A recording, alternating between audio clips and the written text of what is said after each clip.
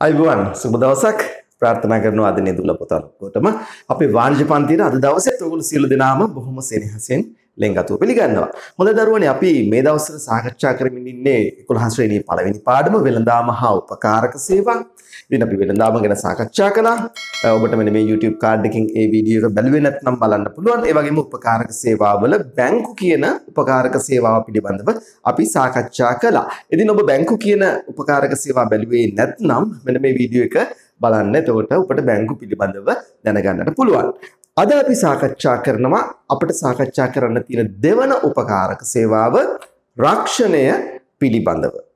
අපි ඉස්සෙල්ලම බලමු රක්ෂණය කොහොමද අපි නිර්වචනය කරන්න කියලා. හරි මම බෝඩ් එකේ ලියලා තියෙනවා රක්ෂණය සම්බන්ධව නිර්වචනයක්. ඒතර අපි මේ නිර්වචනය දිහා පොඩ්ඩක් බලමු. අවදානම් මේක රාශී කරමින් සත්‍ය වශයෙන්ම අවදානම් ඇතිවන පාර්ශවයන්ට ඇතිවන හානි පාඩු සාමූහිකව බෙදා ගැනීමේ ක්‍රියාවලිය රක්ෂණය ලෙස හැඳින්වේ.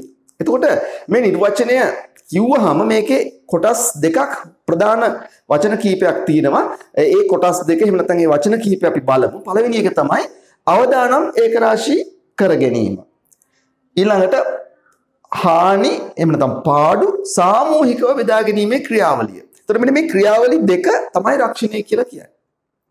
දැන් මම මේක ඔබට පුංචි රූප සරහනක් ඇඳලා කියලා දෙන්නම්. මොකක්ද මේ අවදානම් ඒකරාශී කර ගන්නවා කියන්නේ? ඒ වගේම සාමූහිකව පාඩු එහෙම නැත්නම් හානි බෙදා ගන්නවා කියන්නේ මොකක්ද කියලා. හරි. අපි දැන් එහෙනම් අවදානම් මේක රාශී කිරීම සහ පාඩු එහෙම නැත්නම් අලාභ සාමූහිකව බෙදා ගැනීමේ ක්‍රියාවලිය කියන එක හරියටම ඉගෙන ගනිමු. දැන් මෙහෙම හිතන්නකෝ. මම ගැන හිතන්නකෝ මම මම තාත්තා කෙනෙක්. එතකොට මගේ ජීවිතයේ අවදානමක් තියෙනවා. මොකද අපට කියන්න බැහැනේ මම මැරෙයිද නැද්ද කියලා. අපි නිසක වශයෙන්ම දන්නවා මැරෙනවා ඒක. නමුත් මැරෙන දවස කියන්න බෑ. මම මැරුණොත් මොකක්ද වෙන්නේ? මම මැරුණොත් මගෙන් යැපෙන මගේ දූ දරුවන්ට, මගේ බිරිඳට මගෙන් හම්බ වෙන ප්‍රතිලාභ නැතිව යනවා. ඒ කියන්නේ මම නම් ගෙදර හම්බ කරන්නේ. එතකොට මම නැති වුණොත් එහෙම මෙන්න ඔවුන්ට ආරක්ෂාවක් නැති වෙලා යනවා. ඔවුන්ට මුදල් හදල් නැති වෙලා යනවා. මගෙන් ලැබෙන ආරක්ෂාව ලැබෙන්නේ නැතුව යනවා. එතකොට මගේ ජීවිතයේ අවදානමක් තියෙනවා. ඒ වගේම ඔබ හිතන්න මම වාහනයක් පාවිච්චි කරන කෙනෙක් කියලා. මම වාහනයක් පාවිච්චි කරනකොට මගේ වාහනේ පාරේ ධාවනය වෙද්දී තවත් වාහනයක හැපෙනවා. හැපිලා මගේ වාහනේට අලාභයක් වෙනවා. ඩැමේජ් එකක් වෙනවා කියලා කියන්නේ. හරි. එතකොට මේ ඩැමේජ් එක වීම මට පාඩුවක්. මට හානියක්. මොකද මම මේක නැවත හදාගන්න එහෙම නැත්නම් ප්‍රතිසංස්කරණය කරගන්න එහෙම නැත්නම් රිපෙයාර් කරනවා කියලා කියන්නේ. රිපෙයාර් කරගන්න ගියාම මට ඒ සඳහා මුදලක් දරන්න වෙනවා. එහෙනම් මගේ වාහනය සම්බන්ධව මට අවදානමක් තියෙනවා. දැන් මම කලින් කිව්වා මගේ ජීවිතය සම්බන්ධව අවදානමක් තියෙනවා කියලා. ඊළඟට මගේ වාහනය පිළිබඳව අවදානමක් තියෙනවා. ඊළඟට හිතන්න වාහනේ පාරේ ධාවනය කරද්දී වැරදීමකින් පාරේ යන මිනිස්සෙක්ගේ ඇඟේ හැපිලා ඔහු හෝ ඇය තුවාල වෙනවා. ඇක්සිඩන්ට් එකක් වෙනවා කියලා කියන්නේ. තුවාල වෙනවා. එතකොට බලන්න ඒ ජීවිතය සම්බන්ධවත් අවදානමක් තියෙනවා. මෙන්න මේ විදියට අපි සමාජයේ ජීවත් වෙන හැම දෙනාටම පෞද්ගලිකව තමන්ගේ ජීවිතය සම්බන්ධව අවදානමක් තියෙනවා. ඒ වගේම තමයි අපේ දේපල සම්බන්ධව අපට අවදානම් තියෙනවා. දැන් මගේ වාහනය කියලා කියන්නේ මගේ දේපලක්නේ. තවත් උදාහරණයක් කිව්වොත් මගේ ඉන්න ගේ ගම් වතුරකට යට වෙනවා. යට වුණොත් මගේ ගේ ඇතුලේ තියෙන ඔක්කොම බඩු බහඬ ටික ප්‍රයෝජනෙට ගන්න බැරි වෙලා යාවි.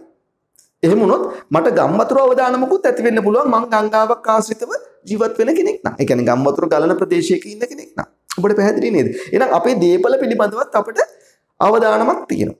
අන්න ඒ විදියට මේ සමාජයේ ජීවත් වෙන ගොඩාක් පුද්ගලයන්ට හැමෝන්ටම ඇත්ත වශයෙන්ම අවදානමක් තියෙනවා. තමන්ගේ ජීවිතය සම්බන්ධ අවදානමක් තියෙනවා. ඒ වගේම තමන්ගේ දේපල පිළිබඳව අවදම අවදානමක් තියෙනවා. එහෙනම් මම මේ අවදානම යම්කිසි මට්ටමකින් අඩු කරගන්න දැන් මගේ අවදානම අඩු කරගන්න. එහෙම නැත්නම් අවද මොන හරි ප්‍රශ්නයක් වුණොත් එහෙම ඒ අවදානමට අදාළ සිද්ධිය සිද්ධ වුණොත් එහෙම මගේ යැපෙන පුද්ගලයන්ට යම්කිසි පිළිසරණක් ලබා ගන්න. මම රක්ෂණ ආයතනයකට ගිහිල්ලා කියනවා මගේ අවදානමක් තියෙනවා.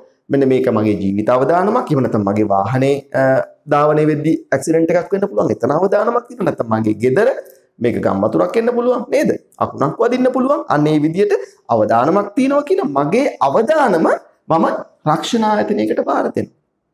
නිකන් නෙවෙයි ඒ සඳහා රක්ෂණ ආයතනය අපේ මුදලක් අය කරනවා. අපි ඒකට කියනවා රක්ෂණ වාරකය කියලා. ඔන්න ඔය මම කරා වගේ අනිත් සමාජයේ ඉන්න බොහෝ දෙනා Tamanගේ අවදානම රක්ෂණ ආයතනයකට බාර දෙනවා. එතකොට ඒක ජීවිත අවදානමක් වෙන්නත් පුළුවන්. එහෙම නැත්නම් දේපල අවදානමක් වෙන්නත් පුළුවන්. එතකොට දරුවනේ ඔයගොල්ලෝ කල්පනා කරන්න මම මේ මගේ අවදානම බාර දීම වෙනුවෙන් යම්කිසි මුදලක් ගෙවුවනේ රක්ෂණ ආයතනයට. ඒ වගේම අනිත් මේ හැමෝම ඔය ආයතනයට එක එක විදියට තමන්ගේ අවදානමේ ස්වභාවය අනුව මුදල් ගෙවනවා.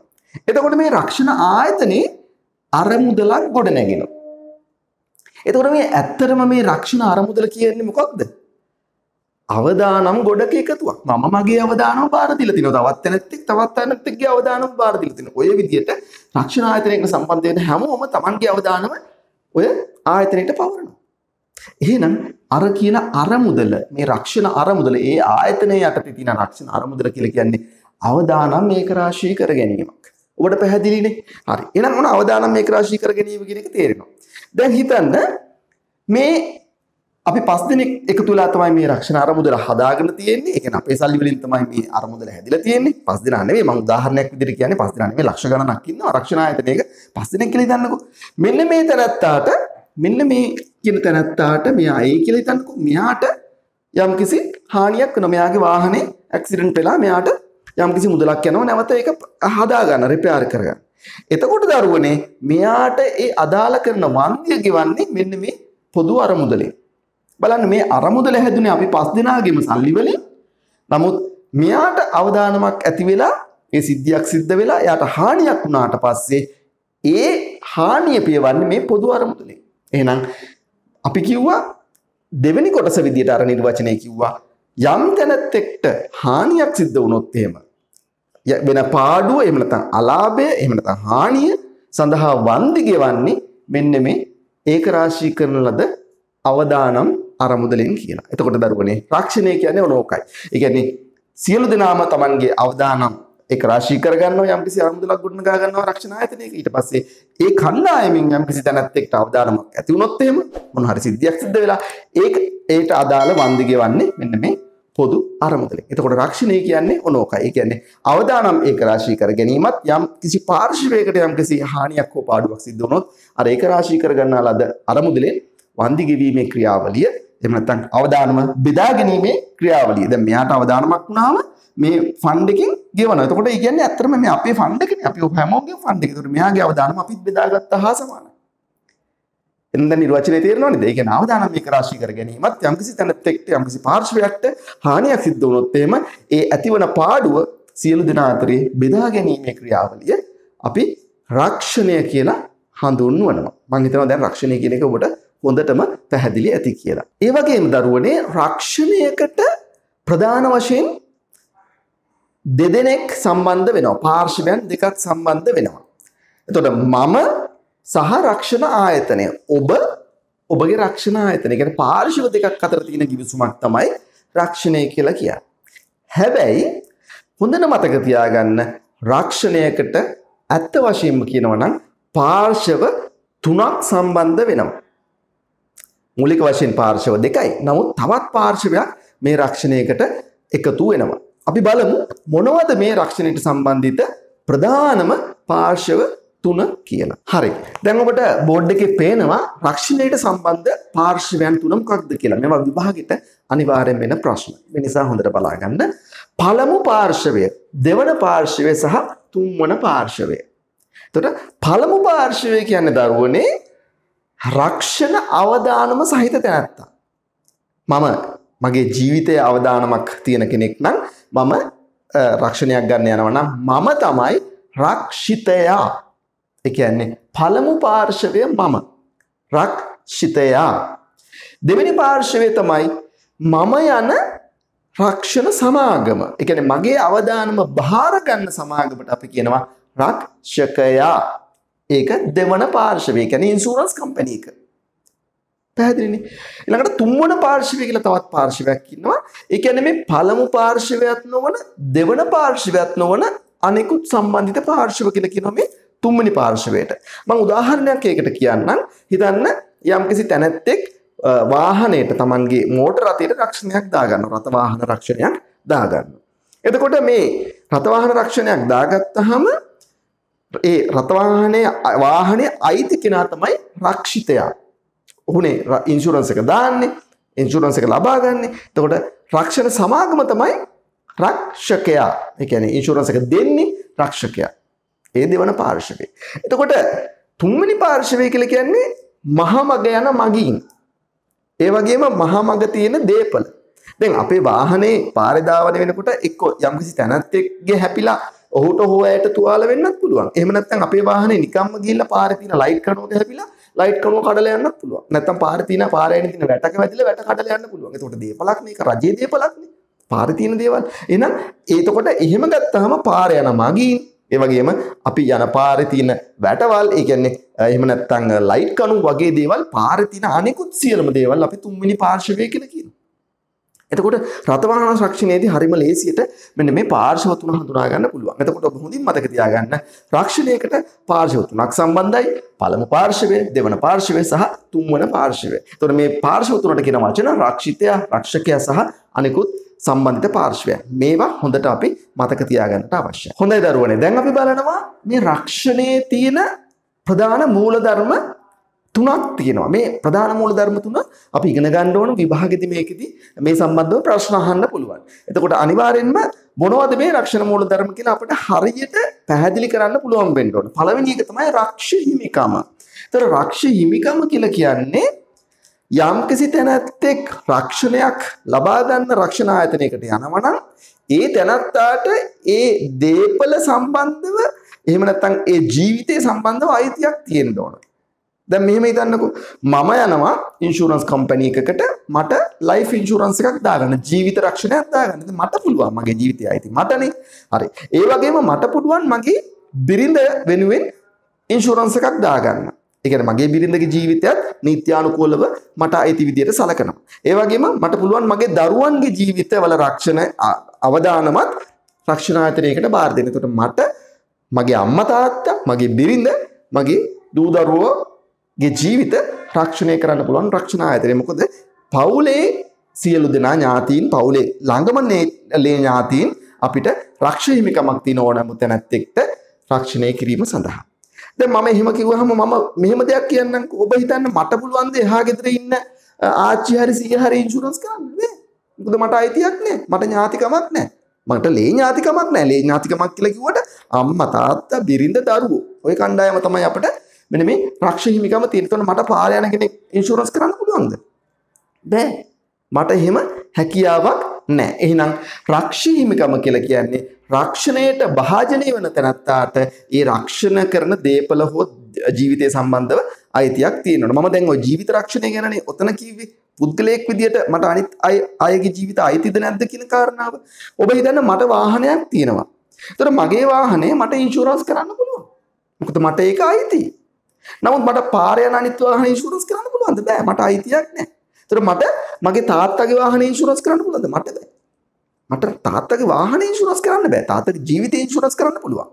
ඒතර මට හැකියාවක් නැහැ තාත්තගේ වාහනේවත් ඉන්ෂුරන්ස් කරන්න. ඒ කියන්නේ මට අයිති නම් විතරයි මට පුළුවන්. ඒ දෙවෙනි අවස්ථාව. තුන්වෙනි අවස්ථාව මෙන්න මේ වගේ දෙයක් තියෙනවා ණය දෙන ආයතනයකට. බැංකුවකට එහෙම නැත්නම් මූල්‍ය ආයතනයකට ණය මුදලක් ලබා දෙද්දි ගනුදෙනුකරුවෙකුට ඒ ණය මුදලේ ප්‍රමාණය දක්වා ණය ගන්න තැනැත්තාගේ ජීවිතය ඉන්ෂුරන්ස් කරන්න එමෙත රක්ෂණය කරන්න ඒ ණය දෙන ආයතනයට පුළුවන්. මම එක උදාහරණයකින් කියන්නම්. යම්කිසි බැංකුවක් X කියලා පුද්ගලයෙකුට රුපියල් ලක්ෂ 10ක ණය මුදලක් ලබා දෙනවා.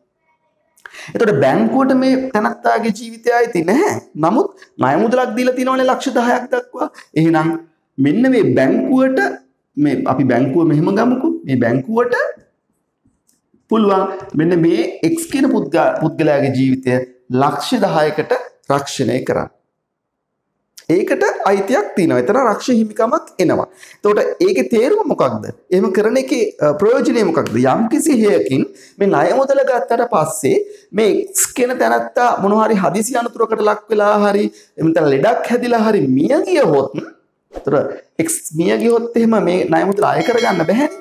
නමුත් මේ වගේ ණය මුදල වෙනුවෙන් බැංකුව විසින් X කියන පුද්ගලයා ඉන්ෂුරන්ස් කරලා තිබ්බොත් නොවසේ නම් රක්ෂණය කරලා තිබ්බොත් එහෙම බැංකුවට හැකියාව තියෙනවා ඉන්ෂුරන්ස් ආයතනයෙන් එහෙම නැත්නම් රක්ෂණ සමාගමෙන් මෙන්න මේ ණය මුදලේ ඉතිරි ගෙවිය යුතු ප්‍රමාණය අපි කියනවා කැපිටල් අවුට්ස්ටෑන්ඩින් එක කියලා එහෙම නැත්නම් මුදලෙන් ගෙවන්න තියෙන ප්‍රමාණය ගන්න පුළුවන්. පැහැදිලිද? දැන් හිතන්න මම ඒක තවත් ඒ මුදල කියන එකත් පැහැදිලි කරන්න X කියන බැංකුව මේ X බැංක් මේ මේ කියන බැංකුව X කියන පුද්ගලයාට ලක්ෂ 10ක ණය මුදලක් දුන්නා. අවුරුදු 5කට තමයි ණය මුදල දුන්නේ. පළවෙනි අවුරුද්ද අවසානයේදී මේ ණය මුදලේ ගෙවන්න ඕන මුදල මුදල් පේ විදිහට ගෙවන්න ඕන ප්‍රමාණය ලක්ෂ 9යි. පළවෙනි අවුරුද්ද අවසානයේදී X මිය යනවා. එහෙමනම් බැංකුවට පුළුවන් රක්ෂණ ආයතනයේ මෙන්න මේ ලක්ෂණ නමය මේ තැනත්තා මිය ගිය බව දැනගත්තාට පස්සේ ඌගේ මරණ සහතික ඉදිරිපත් කරලා මේ ලක්ෂණ නමය අය කරගන්න. ඔන්න ඔය විදිහට අපිට රක්ෂ හිමිකම කොටස් තුනකින් ඉදිරිපත් කරන්න පුළුවන්. ඕනෑම පුද්ගලයෙක් වෙනුවෙන් තියෙන රක්ෂ හිමිකම, ඒ වගේම තමන්ගේ දේපලක් වෙනුවෙන් තියෙන රක්ෂ හිමිකම, ඒ වගේම ණය මුදලක් ලබා දෙද්දී ඒ ණය දෙන ආයතනයට ණය ගන්න තැනත්තාගේ ජීවිතය පිළිබඳව තියෙන රක්ෂ හිමිකම. දැන් මම හිතනවා රක්ෂ හිමිකම කියන එක ඔබට හොඳින්ම පැහැදිලි ඇති කියලා. ඊළඟ කාරණාව තමයි උපරිම විශ්වාසය. හරිම වැදගත් සංකල්පයක් එහෙම නැත්නම් මූලධර්මයක් රක්ෂණය සම්බන්ධව උපරිම විශ්වාසය. ඒ කියන්නේ රක්ෂණයක් ලබාගන්නේ මං කියන්නේ පාර්ශව දෙකක් අතර කියලා. ඒ කියන්නේ රක්ෂිතයා සහ රක්ෂකයා අතර තමයි රක්ෂණ කිවිසුම තියෙන්නේ. ඒ කියන්නේ යම්කිසි පුද්ගලයෙක් සහ ඒ රක්ෂණ ආයතනය අතර තමයි කිවිසුම තියෙන්නේ. එතකොට මේ දෙදෙනා අතර පුදුම විශ්වාසයක් තිබිය යුතුයි. මේ විශ්වාසය කඩ වෙලා තිබ්බොත් එහෙම සමහර විට ඒ රක්ෂණයේ හිමිකම අර රක්ෂිතයාට ලැබෙන්න නැති වෙන්න පුළුවන්. මං පුංචි උදාහරණයක් කියන්න. නැවතත් ඒ කියලා පුද්ගලයෙක් ඉන්නවා මෙන්න X කියලා රක්ෂණ ආයතනයක් තියෙනවා. රක්ෂණ ආයතනයක් තියෙනවා ඒ කියලා පුද්ගලයෙක් ඉන්නවා. මෙන්න මේ ඒ කියන පුද්ගලයා කල්පනා කරනවා මට මගේ ජීවිතේ නැතුනොත් එහෙම මගේ දරුවන්ට යම්කිසි ප්‍රසාදයක් යම්කිසි දෙයක් ලැබෙන්න ඕන මුදලක් ලැබෙන්න ඕන ඒ නිසා මම මගේ ජීවිතය රක්ෂණය කරනවා කියලා. හිතලා රක්ෂණ ආයතනයකට යනවා ගිහිල්ලා වෙල්ලා කියනවා මට ලක්ෂ 50කට මගේ රක්ෂණ වාරයක් එහෙම නැත්නම් රක්ෂණ ඔප්පුවක් මට සකස් කරලා දෙන්න කියලා. එහෙම කිව්වම රක්ෂණ ආයතනයේ මේ තැනත්තාට දෙනවා ෆෝරමයක්. ෆෝම් එකක් ඉන්ශුරන්ස් එකේ ඇග්‍රිමන්ට් එක තියෙන ෆෝම් එක. ෆෝම් එක දෙනවා පුරවන්න කියලා. පුරවනකොට මේ ඇප්ලිකේෂන් එක එක තැනකදී අහන්න අහන්න පුළුවන් මෙන්න මේ වගේ ප්‍රශ්නයක්. ඔබ මත්පැන් මද්‍යසාර භාවිතා කරන කෙනෙක්ද? ඔබ දුම්පානය කරන තැනැත්තෙක්ද? ඔන්න ඔය වගේ ප්‍රශ්නත් ඔය ඇප්ලිකේෂන් එකේ තියෙන්න පුළුවන්. සාමාන්‍යයෙන් තියෙනවා. එතකොට මේ තැනත්ත ඇත්ත වශයෙන්ම අරක්කුත් බොන. කියන්නේ මත්පැන් පානය කරන කෙනෙක්, ඒ වගේම දුම් පානය කරන කෙනෙක්. නමුත් මොහු අර ඇප්ලිකේෂන් එකේ මත්පැන් පානය කරන බවවත් දුම් වැටි පානය කරන බවවත් සඳහන් කරන්නේ නැහැ කියලා තමයි දාන්නේ. ඔන්න දැන් රක්ෂණ කිවිසුම සම්පූර්ණයි. ඒ සඳහා දාලා ගාස්තු ගෙවලා රක්ෂණ ඔප්පුවත් අරගෙන දැන් ගෙදර ගිහිල්ලා මේ තැනත්තා ඉන්නවා. යම්කිසි කාලයක කාලයක් ගිහිල්ලා මේ තැනත්තා මිය යනවා. මිය ගියාට පස්සේ මේ මරණ පරීක්ෂණ වාර්තාවක් එනවනේ. අපි කියනවනේ මරණ සහතිකයක් ලැබෙන්නේ. මරණ සහතිකයේ සටහන් වෙලා තියෙනවා මෙයා මැරුණේ මත්පැන් පානය කිරීම නිසා ඇතිවෙච්ච සිරෝසිස් කියලා ලෙඩේ. ඔගොල්ලෝ අහලා තියෙන්නේ නේද? සිරෝසිස් කියලා ලෙඩක් තියෙනවනේ. මේ සිරෝසිස් වලින් තමයි මෙයා මැරලා තියෙන්නේ. එතකොට දැන් ගෙදර ඉන්න කට්ටිය මෙයාගේ ගෙදර ඉන්න පාර්ශවයේ උන්ටනේ අයිතිය තියෙන මේ රක්ෂණ ඔප්පුවේ. දැන් මේ ඉන්ෂුරන්ස් එක දාපු කෙනා මැරිලානේ. ඕන් යනවා රක්ෂණ ආයතනයට මේ සඳහා අදාළ කරන ඒ ලක්ෂ 50යි වන්දි මුදල ගන්න. මොකක්ද වෙන්නේ? මරණ සහතිකය අරගෙන එන්න කියලා කියනවා ගෙදර ඉන්න උදවියට. මොවුන් මරණ සහතිකයත් අරන් ගිහලා මෙතෙන්ට බාර දෙනවා. මාරදු බාර දුන්නාම රක්ෂණ ආයතනෙන් බලලා කියන්න පුළුවන් මේ මෙයා සිරෝසිස් හැදිලානේ මැරිලා තියෙන්නේ. ඒ කියන්නේ මෙයා අරක්කු බීලානේ මේ මත්පැන් පානය කිරීම නිසා ඇතිවෙච්ච සිරෝසිස් නිසා දැන් සිරෝසිස් කිව්වහම නන් ඇල්කොහොලික් සිරෝසිස් ඇල්කොහොලික් සිරෝසිස් කියලා දෙකක් තියෙනවා. ඒ කියන්නේ මත්පැන් පානය කිරීම නිසා ඇතිවන සිරෝසිස් එහෙම නැත්නම් මත්පැන් පානය නොකිරීම උනත් සිරෝසිස් හැදෙන්න පුළුවන්. නමුත් අපි හිතමුකෝ මේ තැනත්ත මැරලා තියෙන ඇත්තටම මත්පැන් පානය කිරීම නිසා ඇතිවෙච්ච සිරෝසිස් කියන ලෙඩේ.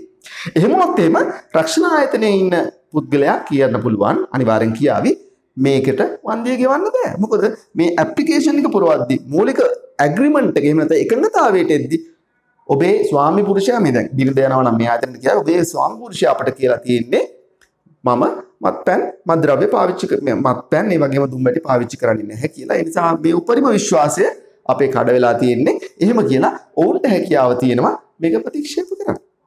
දැන් මම මේ උදාහරණයක් කිව්ව පොඩි කතාවක් විදිහට ඔයගොල්ලන්ට මේක පැහැදිලි වෙන්න ඕන නිසා. එතකොට නිතරම හොඳින් මතක තියාගන්න අපි ඉන්ෂුරන්ස් පොලිසි එකක් එහෙම නැත්නම් රක්ෂණ ඔප්පුවක් ලබා ගන්න යනවා නම් අනිවාර්යෙන්ම උපරිම විශ්වාසය රකින්න ඕන පාර්ශවයන් දෙකම. රක්ෂිතයා රක්ෂකයා කියන පාර්ශවයන් දෙකම. එහෙම නැති වුණොත් එහෙම ප්‍රතිලාභය ලබා දීමේදී ගැටලු සහගත තත්ත්වයක් ඇති වෙන්න පුළුවන්. හරි. තුන්වෙනි කාරණාව තමයි හානි පූරණය. එතකොට හානි පූරණය කියන්නේ මොකක්ද? හානි පූරණය කියලා කියන්නේ මෙන්න මේ වගේ දෙයක්. මම පුංචි උදාහරණයකින් කියන්නම්. වෙන පුද්ගලයෙක් ඉන්නවා. මේ පුද්ගලයාට කාර් එකක් තියෙනවා. හරිද? හිතන්නකෝ මෙන්න කාර් එක මේ පුද්ගලයාගේ. හරි. මෙන්න මේ කාර් එක මේ පුද්ගලයා හිතනවා ලක්ෂ 30ක් දැනට වටිනවා කියලා. මේ තැනත්තා ඉන්ශුරන්ස් කම්පනයකට ගිහිල්ලා අපි හිතමු රක්ෂණ සමාගම කියලා ලියමුකෝ. රක්ෂණ සමාගම රක්ෂණ සමාගමට ගිහිල්ලා මෙන්න මේ වාහනය වෙනුවෙන් රක්ෂණ ඔප්පුවක් ගන්නවා. ඔබට පැහැදිලිනේ. රක්ෂණ ඔප්පුවක් ගන්නවා. එතකොට මේ වාහනේ ඇක්සිඩන්ට් වෙනවා. ඇක්සිඩන්ට් වෙලා හානියක් වෙනවා ලක්ෂ 5ක. ලක්ෂ 5ක ඩැමේජ් එකක් වෙනවා. එතකොට මෙන්න මේ හානි පූරණය කියන මූලධර්මය යටතේ ලක්ෂ 30ක් රක්ෂණය ලබාගෙන තිබ්බත් ගෙවන්නේ ලක්ෂ 5යි. නමෙන්ම තේරෙනවනේ. ඒ කියන්නේ දීපල රක්ෂණයේදී තමයි මේ හානි පූරණය අයිතිවන්නේ. එතනදී වෙන්නේ හානිය වෙච්ච ප්‍රමාණය දක්වා විතරයි රක්ෂණ ප්‍රතිලාභය දෙන්නේ. ඔබට පැහැදිලිනේ. එතකොට මේක අයිති වෙන්නේ දේපල රක්ෂණයට විතරයි. ජීවිත රක්ෂණයට හානිපූර්ණ මූලධර්මය අදාළ වෙන්නේ නැහැ. මොකද හේතුව ජීවිතයක වටිනාකම මේ යයි කියලා හරියටම කියන්න බැරි නිසා අපිට ඒක අදාළ වෙන්නේ නැහැ. එහෙනම් හොඳට මතක තියාගන්න. දේපල රක්ෂණයේදී මෙන්න මේ හානිපූර්ණය කියන මූලධර්මය අදාළ වෙනවා. මේක ජීවිත රක්ෂණයට අදාළ වෙන්නේ නැහැ. හොඳයි. දැන් අපි සාකච්ඡා කරනවා රක්ෂණ ඔප්පු වර්ග මොනවද කියලා. ප්‍රධාන වශයෙන් රක්ෂණ ඔප්පු වර්ග දෙකක් තියෙනවා. පළවෙනි වර්ගය තමයි ජීවිත රක්ෂණය. අපි ඉංග්‍රීසියෙන් කියනවා life insurance කියලා. අනිත් එක දේපල රක්ෂණය. හරිද? එතකොට මේ ජීවිත රක්ෂණය කියන එකට ජීවිත ආරක්ෂණය කියන නමත් පාවිච්චි කරනවා. එතකොට ජීවිත රක්ෂණය ජීවිත ආරක්ෂණයක්. එතකොට ඒ ආරක්ෂණය කියන්නේ ඇයි කියලා මම ඔබට පැහැදිලි කරන්නම්. ජීවිත ආරක්ෂණය කියලා කියන්නේ දරුවනේ දැන් ජීවිත රක්ෂණයක් ගත්තාම ජීවිත රක්ෂණය සම්බන්ධ අවදානම හරිම නිශ්චිතයි. නිශ්චිතයි. ඒ කියන්නේ මැරෙනවා කියන එකනේ ජීවිත රක්ෂණයෙන් ගන්නෙ. ආවරණය කරගන්නේ. ඒතර ආවරණය කරගන්නවා කියලා කියන්නේ මැරෙන එක නවත්තන්න බෑ. හැබැයි මැරුණට පස්සේ ඉන්න පාර්ශවයන්ට, ඒ කියන්නේ ප්‍රතිලාභීන්ට, එහෙම නැත්නම් යැපෙන්නන්ට ප්‍රතිලාභයක් දීම තමයි ජීවිත රක්ෂණයේ අරමුණ. එතකොට මේකේ අවදානම ජීවිත ආරක්ෂණය කියන්නේ ඒකයි හරිම නිශ්චිතයි. මැරෙනවා කියන එක තමයි ඒක නිශ්චිත දෙයක්. නමුත් දේපලය රක්ෂණය ගත්තාම ඒක ආරක්ෂණයක් වෙන්නේ නැහැ. මේක නිශ්චිත නැහැ. නිශ්චිත නැත. නැත. ඇයි එහෙම කියන්නේ? දැන් අපි වාහනයක් රක්ෂණය කරයි කියලා ওই වාහනේ හැපෙනවයි කියලා මේකක් නැහැ. වාහන හැම එකක්ම ඇක්සිඩන්ට් වෙන්නේ නැහැ. වෙන්න පුළුවන්. නොවෙන්නත් පුළුවන්. නමුත් ජීවිත රක්ෂණය ගත්තාම ඒක අනිවාර්යෙන් වෙනවනේ. මැරෙනවා. මැරෙනවා ඒක නවත්තන්න බෑ. එතකොට ජීවිත රක්ෂණ යම් කිසි කාල පරිච්ඡේදයක ගත්තොත් ඒ කාල පරිච්ඡේදය ඇතුළතදී නොමැරී ඉන්න පුළුවන්. නමුත් ජීවිතයේ අන්තය දක්වාම අවුරුදු 30 40කට එහෙම නැත්නම් ගොඩාක් වයස යනකම් ජීවිත රක්ෂණ උප්පත් දැම්මොත් ඉතින් මැරෙන එක නිශ්චිතම තමයි. ඉතින් අන්න ඒ නිසා අපි මේක ආරක්ෂණයක් කියලා කියනවා. තවත් කරුණු කීපයක් තියෙනවා මේක ආරක්ෂණයක් කියලා කියන්න. දෙවෙනි කාරණාව තමයි මේකෙදි ජීවිත රක්ෂණයේදී ඒ සිද්ධිය සිද්ධ වුණේ නැත්නම් හිතන්න ජීවිත රක්ෂණය ඔප්පුව දාන්නේ අවුරුදු 20ක කාලයට. මම අද ගිහිල්ලා මගේ ජීවිතය අවුරුදු 20ක් දක්වා ආරක්ෂණය කරනවා තව ඉස්සරහට. එතකොට ඒ කාල පරිච්ඡේදය තුලදී මම මැරුණේ නැත්තම් මට මම තැම්පත් කරපු මුදල දැන් අපි වාරික ගෙවන්න ඕනේ ජීවිත රක්ෂණය ගත්තනම් එතකොට ඒ තැම්පත් කරපු මුදල සහ පොලියකුත් ගෙවනවා රක්ෂණ ආයතනයෙන්. එතකොට මෙතනදී සිද්ධිය සිදු නොවුනොද සිද්ධිය සිදු නොවුනද මුදල සහ මුදල සහ පොලිය ලැබේ. මේකේ එහෙම වෙන්නේ නැහැ. දේපල රක්ෂණයේදී එහෙම එකක් වෙන්නේ නැහැ. අපි මගේ වාහනය රක්ෂණය කරන අවුරුද්දක කාලයට තමයි සාමාන්‍යයෙන් දේපල රක්ෂණයක් දෙන්නේ. අවුරුද්ද ඇතුළතදී ඇක්සිඩන්ට් වුනේ නැත්නම් අර තැම්පත් කරපු මුදල අපි ගියපු වාරිකය ඒක නැවත අපට දෙන්නේ නැහැ. පැහැදිලිනේ? මෙතන ඒක වෙන්නේ නැහැ. අන්න ඒ නිසා අපි කියනවා මෙන්න මේ කාරණා දෙකත් අපිට දෙකම කියන්න පුළුවන් ජීවිත රක්ෂණය ආරක්ෂණයක් කියලා. තුන්වෙනි එක තමයි මේක ආයෝජනයක් විදිහට පාවිච්චි කරන්නත් පුළුවන්. මේ කාරණේටම සම්බන්ධයි. දැන් අපි ලයිෆ් ඉන්ෂුරන්ස් එකක් ගන්නව ගත්තහම ඒ අදාළ කාල පරිච්ඡේදය ඇතුළතදී මිය ගියේ නැත්නම් අර කිව්වා වගේ යම්කිසි මුදලක් පොලියත් එක්කම ලැබෙනවා. එතකොට මේක ආයෝජනයක් විදිහට සලකන්න පුළුවන්. මේ අවස්ථාවේදී ඒක හිම කියන්න බෑ. මොකද මේකෙදි ආයෝජනයක් වෙන්නේ නැහැ. සිද්ධිය සිද්ධුන් නැත්නම් ඒ රක්ෂණ වන්දිය ලැබෙන්නේ නැහැ. මෙන්න මේ කාරණා තුන නිසා ජීවිත රක්ෂණය අපි කියනවා ආරක්ෂණයක් රක්ෂණයක් නොවේ කියලා. හරිද? එහෙනම් මේක නිශ්චිතයි. ඒ කියන්නේ අවදානම නිශ්චිතයි. දෙවෙනි කාරණාව සිද්ධිය සිද්ධ වුණේ නැතත් අවසානයේදී කාලපරිච්ඡේද අවසානයේදී මුදල සහ පොලිය ලැබෙනවා. ඒ නිසා මේක ආයෝජනයක් විදිහට සලකන්න පුළුවන්. මේ දේපල රක්ෂණයට අපි දේපල ආරක්ෂණය කියලා කියන්නේ නැත්තේ මෙන්න මේ කියන ගුණාංග තුන මේකේ නැති හින්දා. ඔබට පැහැදිලිනේ? හරි. එතකොට ජීවිත රක්ෂණය ගැන මම දැන් කතා කළා. ඊට පස්සේ දැන් ජීවිත රක්ෂණයේදී මම ඔබට කිව්වා යම්කිසි පුද්ගලයෙකුගේ තියෙන ජීවිතයේ අවදානම තමයි. ඒ කියන්නේ මරණය පිළිබඳ තියෙන අවදානම තමයි රක්ෂණය කරන්න කියලා. නමුත් මරණය විතරක් නෙමෙයි. දැන් මෑත කාලීනව ගත්තාම මේකට තවත් අතුරු අතුරු අවදානම් එකතු කරලා තියෙනවා. හිතන්නකෝ හදිසි අනතුරක් මැරෙන්නේ නැහැ. හදිසි අනතුරක් වෙලා අතක් කැඩිලා යනවා, කකුලක් කැඩිලා යනවා, එහෙම නැත්නම් ඇහැක් නැති වෙලා යනවා, තුවාල වෙලා යනවා, පේන්නේ නැති වෙනවා. ඔන ඔය විදිහට හානියක් වුණොත් එහෙම හදිසි අනතුරකදී ඒ සඳහා මරණය සිද්ධ වෙන්නේ නැහැ. නමුත් එතනදී වන්දියක් ලබා ගැනීමට හැකියාව ලැබෙන පරිදි ජීවිත රක්ෂණ ඔප්පු දැන් අලුත් කරලා නිර්මාණය කරලා තියෙනවා. ඒ වගේම තමයි සෞඛ්‍ය ගැටලු.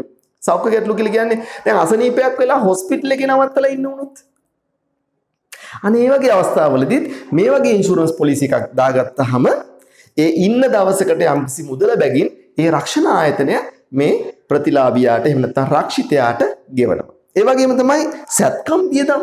හිතන්න යම්කිසි තැනැත්තෙක්ට ඇහි සැත්කමක් කරගන්න ඕන. එහෙම නැත්නම් මොකක් හරි වකුගඩුවක් බද්ධ කරගන්න අවශ්‍ය වෙන්න පුළුවන්. හදවත් සැත්කමක් කරගන්න අවශ්‍ය වෙන්න පුළුවන්. එතකොට මේ කියන ඉන්ෂුරන්ස් පොලිසි එකෙන් එහෙම නැත්නම් මේ රක්ෂණ ඔප්පුවෙන් ඒ කියන සත්කම් විශේෂය ආවරණය වෙලා තිබ්බොත් එහෙම අන්න ප්‍රතිලාභියාට එහෙම නැත්නම් රක්ෂිතයාට රක්ෂණ ආයතනයෙන් ඒ සඳහා මුදල් ලබා ගැනීමේ හැකියාවක් තියෙනවා. එතකොට ඔන්න ඔය කරුණු තමයි අපිට ජීවිත රක්ෂණය සම්බන්ධව සාකච්ඡා කරන්න තියෙන්නේ. එතකොට දේපල රක්ෂණය ගැන කියද්දී දේපල රක්ෂණය කියලා කියන්නේ යම්කිසි තැනැත්තෙකුට අයිති වාහනයක්, ගියක් දොරක්, ඊළඟට ව්‍යාපාරයක් අපිට රක්ෂණය කරන්න පුළුවන්. දැන් මේ දේපල රක්ෂණය කියන එක අපිට කොටස් කීපයක් යටතේ හඳුනා ගන්න පුළුවන්. එකක් තමයි වාහන රක්ෂණය. වාහන රක්ෂණය. දේපල රක්ෂණයක්නේ. ඊළඟට ගිනි රක්ෂණය. ගිනි රක්ෂණය කියලා කියන්නේ ව්‍යාපාරයක් තියෙනවා. මේ ව්‍යාපාරේ ගින්නක් ඇති වෙලා ඒ බඩු ටික විනාශ වේවි කියන බයට මෙන්න මේ ගිනි රක්ෂණය දාගන්න පුළුවන්. ඒ වගේම නිවසක වුණත් ගිනි රක්ෂණය දාගන්න පුළුවන්. අපේ ගෙදරට ගින්නක් ඇති වෙලා විදුලි බලය කාන්දුවක් වෙලා මෙතන ගින්නක් ඇති වෙලා විනාශ වෙනවා ගෙදරක්. ඒ වුණොත් ඒක ඒ අවදානමත් අපිට රක්ෂණය කරගන්න පුළුවන්. ඊට පස්සේ මේ යටතේ තවත් රක්ෂණ මාර්ග තියෙනවා. මම කීපයක් විතරක් ඔබට කියන්නම්. සොර සතුරු හානි. සොර සතුරු හානි. එතකොට යම්කිසි ව්‍යාපාරයකට එහෙම නැත්නම් නිවසකට සොර සතුරු ඇවිල්ලා ගෙදර තියෙන බඩු ටික අරන් ගියා නම් එහෙම නැත්නම් ව්‍යාපාරයක තියෙන බඩු ටික අරන් ගියා නම් අන්න ඒ සම්බන්ධවත් දේපල රක්ෂණයක් දාගැනීමේ හැකියාව තියෙනවා. ඒ වගේම අපි හිතමුකෝ ගමන් භාණ්ඩ රක්ෂණයක්. ගමන් භාණ්ඩ රක්ෂණය.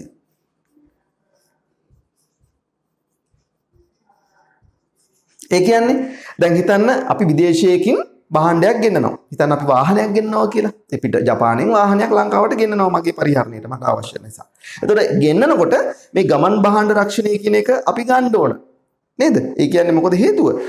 ජපානයේ ඉඳලා නැවෙන් මේ වාහනේ ලංකාවට එන්න එපානේ මේ අතරමැදදී. මොහොතදී මොන හරි ආවරණයක් ප්‍රශ්නයක් වුණොත් එහෙම නැව පෙරළුනොත් එහෙම නැත්නම් නැව අනතුරකට ලක් වෙලා මේ වාහනේට අනතුරක් වුණොත් එහෙම ඒක ආවරණය කරගන්න ගමන් බහන රක්ෂණයක් දාන්න පුළුවන්. ඒකත් අපිට දීපල රක්ෂණයට තමයි දාන්න තියෙන්නේ. ඒතර ඔය ඔය මීට වඩා ගොඩක් දේවල් තියෙනවා. නමුත් අපිට සිලබස් එකේ ගොඩාක් සාකච්ඡා කරන්න නැහැ. උදාහරණ කීපයක් විතරයි මම දුන්නේ. දැන් ඔබට ජීවිත රක්ෂණය සහ දීපල රක්ෂණය කියන එක හොඳටම පැහැදිලි වෙන්නේ නැති කියලා මම විශ්වාස කරනවා. හරි. දරුවනේ දැන් අපි බලනවා ජීවිත රක්ෂණයයි දේපල රක්ෂණය තියෙන වෙනස්කම්. හරිනේ මේවා හරියට පැහැදිලිව දැනගෙන සිටීම ගොඩක් වැදගත් වෙනවා අපට විභාගෙට උත්තර ලියන්න. පළවෙනි එක තමයි ජීවිත රක්ෂණය ආරක්ෂණයක් මම ඒක පැහැදිලි කරා. දේපල රක්ෂණය ආරක්ෂණයක් නොවේ. හරි. දෙවෙනි කාරණාව ජීවිත රක්ෂණය දීර්ඝකාලීනව දාන එකක්. නමුත් දේපල රක්ෂණය කෙටිකාලීනයි. සාමාන්‍යයෙන් දේපල රක්ෂණයක් දාන්නේ වසරක කාල පරිච්ඡේදයට. නමුත් ජීවිත රක්ෂණයක් අවුරුදු 10ක් 20ක් 30ක් 40ක් වගේ ලොකු කාලයකට තමයි දාන්නේ. හරි. තුන්වෙනි එක ජීවිත රක්ෂණයට හානි පූරණය අදාළ වෙන්නේ නැහැ. මං කියන්නේ හානි පූරණය කියන මූලධර්මය මම කතා කරානේ. ඒතර හානි පූරණය ජීවිත රක්ෂණයට අදාළ වෙන්නේ නැහැ. නමුත් දේපල රක්ෂණයට අදාළ වෙන්නේ හානි පූරණය. ඊළඟ කාරණාව තමයි රක්ෂණ වාරිකය රක්ෂිතයාගේ වයස අවදානම ගෙවීමේ හැකියාව මත තීරණය වේ. දැන් මම කියවනේ රක්ෂණයක් ගන්නකොට අපි රක්ෂණ ආයතනයට යම්කිසි දෙයක් ගෙවන්න ඕන කියලා මුදලක්. අපි රක්ෂණ රක්ෂණ වාරිකය කියලා කිව්වනේ. ඒතර රක්ෂණ වාරිකය තීරණය කරනකොට ජීවිත රක්ෂණයේදී රක්ෂිතයාගේ වයස සෞඛ්‍ය තත්ත්වය ඔහුගේ අවදානම ඊට පස්සේ ගෙවීමේ හැකියාව ඔන්න ඔය කාරණා මත තමයි ජීවිත රක්ෂණයක වාරිකය තීරණය කරන්න. නමුත් දේපල රක්ෂණයක වාරිකය තීරණය කරන්නේ ඒ දේපලේ වටිනාකම අනුව. එතකොට මේ දේපල කොච්චර වටිනවද? ඒ මත තමයි තීරණය කරන්නේ 탁සීරුවක් අරගෙන මේ 탁සීරුවට අනුව තමයි දේපල රක්ෂණය කරන්නේ. ඉතින් ජීවිතය 탁සීරු කරන්න බෑනේ. ඒ නිසා එහෙම කරන්නේ නැහැ. ඊළඟ අවසන් කාරණාව තමයි ජීවිත රක්ෂණයේදී ප්‍රසාද දීමනා ප්‍රතිලාභ හිමි වෙනවා. මං කියවනේ අපි එක්කෝ ඒ අවදානම සිද්ධ වුනේ නැත්තම්, මැරුන් නැත්තම් ඒ මුදල ඒ වගේම පොලිය වගේ දේවල් හම්බ වෙනවා. ඊට අමතරව ඒ රක්ෂණය යද්දී අතරින් පතර ප්‍රතිලාභ ඒ කියන්නේ බෝනසස් ඒ වගේම ප්‍රතිලාභ වගේ දේවල් පොලි වගේ දේවල් හිමි වෙනවා. නමුත් දේපල රක්ෂණයට එහෙම දෙයක් කොහෙත්ම නැහැ. දැම්මහම ඉන්ෂුරන්ස් එකක් ඒ හානිය සිද්ධ වුණොත් ඒකට වන්දිය හම්බ වෙනවා එච්චරයි. පැහැදිලිනේ. හරි මේවා තමයි ජීවිත රක්ෂණයක සහ දේපල රක්ෂණයක දකින්නට පුළුවන් වෙනස්කම් මෙන්න මේ විදිහට තමයි අපිට සඳහන් කරන්න වෙන්නේ. හොඳයි. දැන් අපි සාකච්ඡා කරමු ජීවිත රක්ෂණයේ වැදගත්කම. එහෙම නැත්නම් ජීවිත රක්ෂණයේ තියෙන වාසි. පළවෙනි එක තමයි රක්ෂිතයා මිය ගියහොත් යැපෙන්නන්ට ප්‍රතිලාභ හම්බ වෙනවා. ඒ කියන්නේ ඉන්ෂුරන්ස් එක දාපු කෙනා එහෙම නැත්නම් රක්ෂිතයා මිය ගියහොත් යැපෙන්නන්ට ඒ අදාළ රක්ෂිත මුදල ලැබෙනවා. හරි ඊළඟට රක්ෂ කල්පිරුණු විට රක්ෂිත මුදල හා ප්‍රතිලාභ ලැබෙනවා. එතකොට රක්ෂිතයා මිය ගියේ නැත්නම් කාල පරිච්ඡේදය ඒ කියන්නේ රක්ෂණයක් දාන්නේ කාල පරිච්ඡේදයකටනේ. ඒ රක්ෂණ ඔප්පුවේ කාල පරිච්ඡේදය තුලදී රක්ෂිතයා මිය ගියේ නැත්නම් ඒ කියන්නේ කල්පිරුණොත් ඔප්පුව කල්පිරුණොත් අපි කල්පිරුණොත් කියලා කියන්නේ ඒ එකඟ වෙච්ච කාලය අවසන් වෙච්චාම. එතකොට කල්පිරුණාට පස්සේ අර දාපු මුදලයි ඊළඟට අර බෝනස් වගේ දේවල් ඒ වගේම පොලී මුදල් ඒ ඔක්කොම රක්ෂිතයාට ලැබෙනවා. හරිනේ. තුන්වෙනි කාරණාව තමයි මූල්‍ය ආයතන වලින් ණයක් ගන්න ගියහම මේක ඇපයක් විදියට එහෙම නැත්නම් සුරැකුමක් විදියට බැංකුවට ලබා දෙන්න පුළුවන්. බැංකුවකින් ණයක් ගන්න ගියොත් එහෙම නැත්නම් මූල්‍ය ආයතනයකින් ණයක් ගන්න ගියොත් එහෙම අපිට රක්ෂණ ඔප්පුවක් තියෙනවා නම් ඉන්ෂුරන්ස් පොලිසි එකක් තියෙනවා නම් ඒක ඇපයක් විදියට බැංකුවට බාර දීලා ණය මුදලක් ලබා ගැනීමේ හැකියාවක් තියෙන එක ගොඩක් සුවිශේෂී ලක්ෂණයක්. ඒ වගේම දූ දරුවන්ගේ විවාහයන් ඊළඟට අධ්‍යාපන කටයුතු වගේ දේවල් වලදී මේ ලයිෆ් ඉන්ෂුරන්ස් එකකදී ප්‍රතිලාභ ලැබෙනවා. එතකොට හැම ලයිෆ් ඉන්ෂුරන්ස් එකකම මේක නැහැ. නමුත් ඒ වගේ අතුරු වාසි තියෙන අතුරු ප්‍රතිලාභ තියෙන ඉන්ෂුරන්ස් පොලිසි එකක් දාගත්තොත් එහෙම අන්න ඔය කියන ප්‍රතිලාභත් ලබා ගැනීමේ හැකියාව තියෙනවා. මෙන්න මේවා තමයි දරුවනේ ජීවිත රක්ෂ ජීවිත රක්ෂණේ වැදගත්කම. දැන් අපි මේ කරුණු ගොඩාක් සාකච්ඡා කරා. අපි මේ එක තැනකට අරගෙන පෙන්නවා. මෙන්න මේවා තමයි ප්‍රධාන වශයෙන්ම ජීවිත රක්ෂණයේ තියෙන වාසි එහෙම නැත්නම් ජීවිත රක්ෂණයේ තියෙන වැදගත්කම. දැන් අපි බලමු දේපල රක්ෂණයේ තියෙන වැදගත්කම එහෙම නැත්නම් දේපල රක්ෂණයේ තියෙන වාසි මොනවද කියලා. හරි. මම දැන් මේ බෝඩ් එකේ ලියලා තින්නේ දේපල රක්ෂණයේ වැදගත්කම එහෙම නැත්නම් දේපල රක්ෂණයේ තියෙන වාසි. පළවෙනි එක තමයි ව්‍යාපාර කටයුතු වලට ඇතිවන පාඩු අවම කරගන්න පුළුවන්. දැන් හිතන්න ව්‍යාපාරයක් පවත්වාගෙන යන පුද්ගලෙක් තමන්ගේ ව්‍යාපාරය ගිනි රක්ෂණයක් ලබා ගන්නවා. එතකොට ගින්නක් ඇති වෙලා පාඩුවක් ඇති වුණොත් එහෙම ඒ පාඩුව අවම කරගන්න පුළුවන්. මොකද පාඩු වෙච්ච ප්‍රමාණය අර ඉන්ෂුරන්ස් කම්පැනි එකෙන් ගෙවන නිසා. ඒ වගේම හිතන්න ව්‍යාපාරිකයෙක් Tamanට තියෙන වාහනේ Tamanගේ ලොරියක් තියෙනවා කියලා හිතන්නකෝ. ඒක රක්ෂණය කරනවා. ඒ ලොරිය අනතුරකට ලක් වෙනවා. අනතුරට ලක් වුණොත් එහෙම ඒ වෙච්ච හානිය එහෙම නැත්නම් පාඩුව ඒ රක්ෂණ කම්පැනියෙන් එහෙම නැත්නම් ඉන්ෂුරන්ස් කම්පැනියකින් ගෙවනවා. එතකොට ඒක හරිම වාසියක් වෙනවා Tamanට තියෙන පාඩු ව්‍යාපාරිකයන්ට Tamanට තියෙන පාඩු වළක්වා ගන්න පුළුවන්. ව්‍යාපාරිකයන්ට විතරක් නෙවෙයි සාමාන්‍ය පුද්ගලයන්ටත් මේක මෙහෙම තමයි. ඔබට සාමාන්‍ය පුද්ගලයන් කියලා දාලා ලියන්නත් පුළුවන්. දැන් මගේ වාහනේ ඉන්ෂුරන්ස් කරාම ඇක්සිඩන්ට් එකක් වුණොත් එහෙම ඒ වෙන හානිය ඉන්ෂුරන්ස් කම්පැනිකින් ගෙවනවා. හරිනේ මගේ නිවස ගිනි රක්ෂණයක් දාලා තිනවා. එහෙම නැත්නම් සොර සතුරු බිය රක්ෂණයක් දාලා තිනවා. ගින්නක් ඇති වෙන්න පුළුවන් සොර සතුරු එන්න පුළුවන්. එහෙම හානියක් සිද්ධ වුණොත් එහෙම ඒක ඉන්ෂුරන්ස් කම්පැනි එකෙන් ගෙවනවා. ඒක වාසියක්. ඒක පුද්ගලික තැනත්තන්ට වෙන්නත් පුළුවන්. ව්‍යාපාර වලට වෙන්නත් පුළුවන්. හරි. අපි වාණිජ්‍යනේ මෙතන ඉගෙන ගන්න. නිසා තමයි මම ව්‍යාපාර වලට කියලා කිව්වේ. ඊළඟට අනතුරක් වුවොත් ව්‍යාපාරය අඛණ්ඩව පවත්වාගෙන යන්න පුළුවන්. දැන් ඔබ හිතන්නකෝ ව්‍යාපාරයක් පවත්වාගෙන යනවා. ව්යාපාරයේ ගින්නක් ඇති වෙලා ඔක්කොම බඩු බඩු ටික ස්ටොක් එක එහෙම නැත්නම් අපි වෙළඳ තොගය සම්පූර්ණයෙන්ම විනාශ වෙලා යනවා. ඒ සිද්ධිය සිද්ධ වෙච්ච ගාම ඉන්ෂුරන්ස් කම්පැනි ඇවිල්ලා ඒක තක්සේරු කරලා අපි කියන ඇසෙස් කරනවා කියලා. ඒක හරි ඉක්මනට ඔවුන් ඒ හානිය වෙච්ච මුදල ගණනය කරලා ගෙවීම කරනවා. එතකොට ව්‍යාපාර කටයුතු ගොඩක් දවස් නවත්වාගෙන ඉන්න බෑ. ව්‍යාපාර කටයුතු අඛණ්ඩව පවත්වාගෙන ඉන්න පුළුවන්. දවස් දෙකක් තුනක් ව්‍යාපාර කටයුතු අඩාල වේවි. අස්පරස් කරගන්නකම් ඊට පස්සේ නැවතත් අලුතින් බඩු ගෙනල්ලා දාලා ගිහලා ව්‍යාපාර කටයුතු පවත්වාගෙන යෑමේ හැකියාව තියෙනවා. හරි. දේශීය විදේශීය වෙළඳාමේදී උදව් වීම තුන්වෙනි කාරණාව. මේක මම මෙහෙම පැහැදිලි කරන්නම්. දැන් හිතන්න යම්කිසි ආයතනයක් Tamanගේ ආයතනයේ බඩු භාණ්ඩ උන් ප්‍රවාහනය කරනවා ලොරි භාවිතා කරලා. එතකොට මේ ලොරියෙන් බඩු අරන් යද්දී යම්කිසි අනතුරක් වුණොත් එහෙම ඒ සඳහා රක්ෂණ ආවරණයක් ලබා ගන්න පුළුවන්. ඒ කියන්නේ දේශීය වෙළඳ කටයුතු වලදී මේ රක්ෂණය භාවිතා කරන්න පුළුවන්. දරුවනේ විදේශීය වෙළඳ පොලේදී එහෙම නැත්නම් විදේශීය වෙළඳ කටයුතු වලදී කියන ආනයන අපනයන වලදී මේක ඉන්ෂුරන්ස් එක අනිවාර්ය දෙයක්. දැන් අපි ගත්තොත් එහෙම අපේ රටෙන් කුරුඳු තොගයක් යුරෝපයට එක්ස්පෝර්ට් කරනවා. එහෙම නැත්නම් අපනයනය කරනවා. ඒ වගේම අපිට ජපානයෙන් වාහන තොගයක් ආනයනය කරනවා. ඒ රටින් මෙහෙට ගෙන්නනවා. එහෙනම් ඔන්න ඔය අවස්ථා දෙකේදීම අනිවාර්යෙන්ම රක්ෂණයක් ලබා ගන්නට අවශ්‍යයි. මේ මෙහි භාණ්ඩ පිටරට යවද්දි පිටරට භාණ්ඩ මෙහෙට යවද්දි රක්ෂණයක් ලබා ගැනීම අනිවාර්යයි. මොකද මේ ලංකාවේ සිට පිටරටට භාණ්ඩ අරන් යද්දි එහෙම නැත්නම් පිටරටක සිට ලංකාවට භාණ්ඩ එද්දි යම්කිසි අතරමැදදී හානියක් වෙන්න පුළුවන්. ඒ හානිය වළක්වා ගැනීම සඳහා ඔබ මතක තියාගන්න මේ රක්ෂණය කියන එක අතිශය වැදගත් වෙනවා. හොඳ දරුවනේ දැන් අපි පුංචි මාතෘකාවක් තියෙනවා අවම තෙවන පාර්ශවීය රක්ෂණය අපි මේකට තර්ඩ් පාර්ටි ඉන්ෂුරන්ස් කියලාත් කියනවා. අපි මේ පිළිබඳව පොඩ්ඩක් පැහැදිලි කරගනිමු. එතකොට අවම තෙවන පාර්ශවීය රක්ෂණය අයිති වෙන්නේ මෙන්න මේ රථ වාහන රක්ෂණය කියන රක්ෂණ වර්ගයට. එතකොට රථ වාහනයක් ගත්තාම හිතන වාහනයක් ගත්තාම මේ වාහනේ රක්ෂණය කරන්න පුළුවන් ක්‍රම දෙකක් තියෙනවා. ප්‍රධාන ක්‍රමයක් තමයි සම්පූර්ණ රක්ෂණය. එහෙම නැත්නම් අපි ෆුල් ඉන්ෂුරන්ස් එක දානවායි කියලා කියනවා. මේ ෆුල් ඉන්ෂුරන්ස් එක දානවා කියලා කියන්නේ ඒ වාහනය වාහනේ ඇතුළේ යන මගින් එහෙම නැත්නම් වියදුරු ඒ වාහනේ ඇතුළේ ඉන්න කට්ටිය සහ තුන්වෙනි පාර්ශවය තුන්වෙනි පාර්ශවය කියලා කියන්නේ පාරේ යන මගින් ඒ වගේම පාරේ තියෙන දීපල. එතකොට මෙන්න මේ සියලුම දේවල් සම්පූර්ණ රක්ෂණයකින් ආවරණය වෙනවා.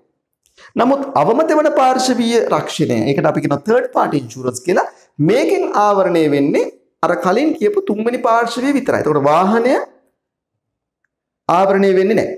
වාහනේ ඇතුලේ යන සියලු දෙනා ආවරණය වෙන්නේ නැහැ. නමුත් පාරේ යන මගින් සහ පාරේ තියෙන දීපල පමණක් අවනත අවම තෙවන පාර්ශවීය රක්ෂණයකදී ආවරණය වෙනවා. දැන් ඔබට පැහැදිලිනේ.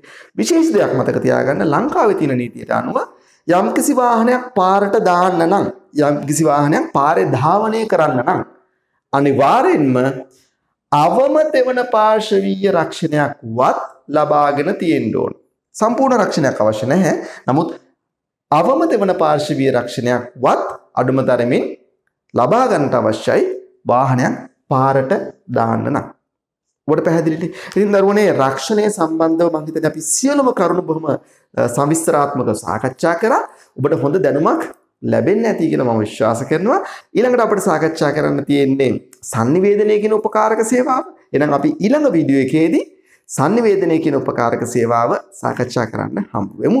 එතෙක් සියලු දෙනාටම වාසනාවන්ත සතියක්. ආයුබෝවන්.